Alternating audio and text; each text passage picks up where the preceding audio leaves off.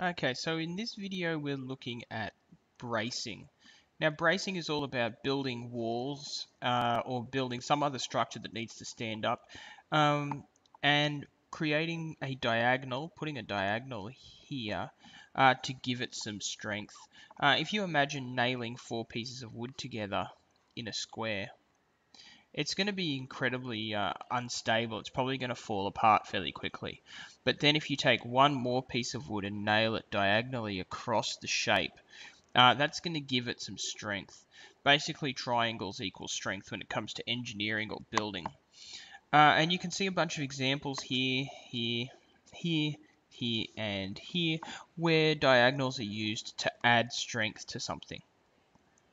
Now, this gets used a lot, particularly in wall frames, and we'll look at it a lot in wall frames like this. You can see this wall frame here uh, with our studs going downwards and our window frame here and our brace down there. Now, important to note, and this complicates the maths that we have to do. Building standards prescribe that the angle which the brace makes with the bottom of the frame must lie within the range 37 degrees to 53 degrees. Okay, this is an important, these are important numbers. What this means is that if you imagine a house like with a wall that looked like this, if you wanted to build a brace like this, you could not. The angle's too small. It's going to be useless you may as well not put a brace there at all. Similarly, if you had a big tall wall like this for some reason, and you put a brace like this, it's going to be useless. The angle's too steep. So angles only work when the angle from there to there is somewhere between 37 degrees to 53 degrees. And the angle between there and there is somewhere between 37 degrees and 53 degrees. Uh, if it's not those, you need to change your brace somehow. Um, also, most houses have a ceiling height of 2400 millimeters, that's 2.4 meters. Uh, so most of our examples will have a ceiling that high. Uh, let's take a look. Here's a basic wall. It's 3600 um, millimeters wide and 2400 millimeters tall. We want to find the length of the longest brace that can be used. Now the length of the longest diagonal in this rectangle would be from here to here. Uh, so our first step here is to find out how uh, what that angle would be. If that angle is between 37 and 53 degrees, then we're just fine. If that angle isn't between 37 degrees and 53 degrees, then we're going to have to change our measurement somehow. Okay, let's test that out. Now this is going to be a trigonometry question. Uh, and you'll remember SOHCAHTOA. Now, in most of these, it'll be a tan ratio because we've got an opposite and an adjacent angle. So tan theta equals opposite over adjacent, which means that tan theta equals 2400 divided by 3600 uh, to see what that is. Okay, so that's 0.67. Now, after that um, 0.67, so we know tan theta equals 0.67, you're going to have to use shift tan to figure out what theta is. Remember, shift tan moves over to the other side, 0.67. Okay, type that into your calculator. Now, when you type that into your calculator, you get an angle of 33.7 degrees. So that means that this angle here is 33.7 degrees. Now, unfortunately, that's outside of building regulations. You can see our angle needs to be between 37 and 53. This angle is 33.7. So the only thing that we can do, I'll use a different color for this. The only thing that we can do is bring our brace in a little bit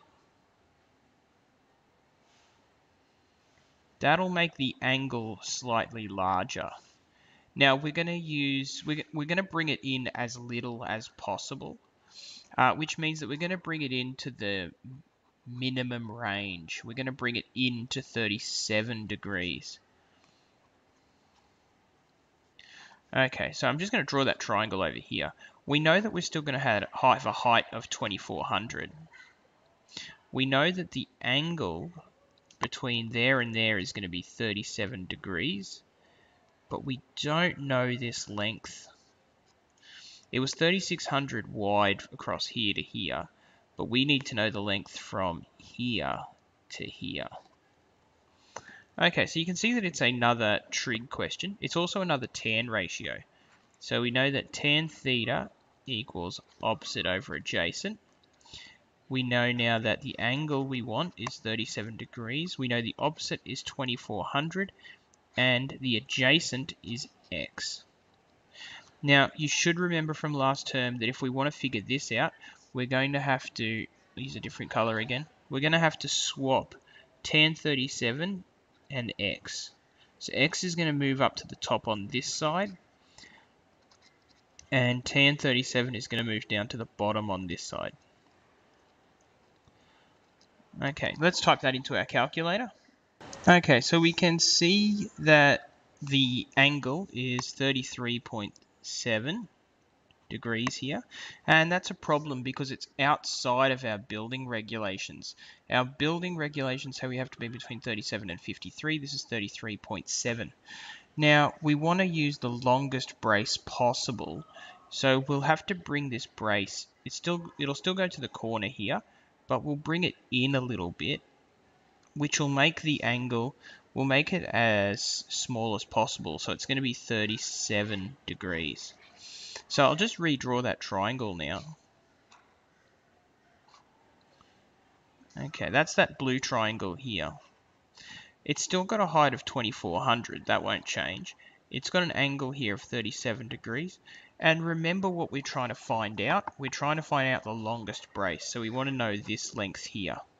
Now this is a trig uh, problem again. This time it's a sine problem. Sine theta is equal to opposite over hypotenuse. Now the opposite is 2400. The hypotenuse is x. And our angle sine 37. Now, just using a different color pen here, you should remember that to figure out what x is here, we swap over the x and the sine 37.